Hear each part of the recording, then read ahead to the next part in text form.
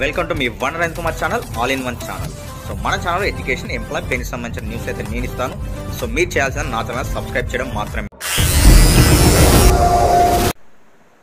RTC retired ఉద్యోగుల good news. బకాయిల చెల్లింపులకు ఐదు వందల కోట్ల విడుదల. ఆర్థికాంశాలపై రవాణా మంత్రి పువ్వాడ అజయ్ సమీక్ష.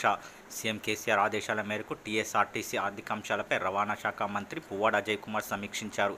సంస్థకు వస్తున్న ఆదాయంతో పాటు ఖర్చు అప్లై వివరాలపై పూర్తి స్థాయిలో సమీక్షించారు.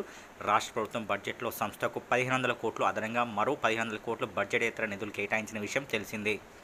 బడ్జెట్లో కేటాయించిన నిధులను ప్రభుత్వ సంస్థకు నెల నెలా సమకూరుస్తోందని తెలిపారు.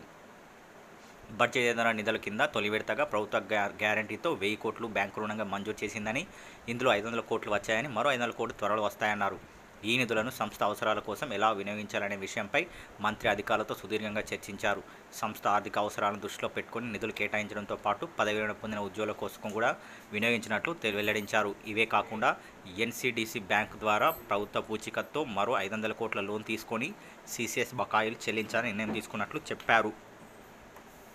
సంస్థ అభ్యున్నతి కోసం ఉద్యోగులు అధికారులు చేసిన కృషి అభినందనీయమంటూ ప్రస్తుతం టికెట్ ద్వారా వస్తున్న తొమ్మిది కోట్లు మరో రెండు లేదా మూడు కోట్ల పెంచుకోగలిగితే సంస్థ ఆర్థిక పరిస్థితి కొంత మెరుగుపడుతుందని ఆశాభావం వ్యక్తం చేశారు.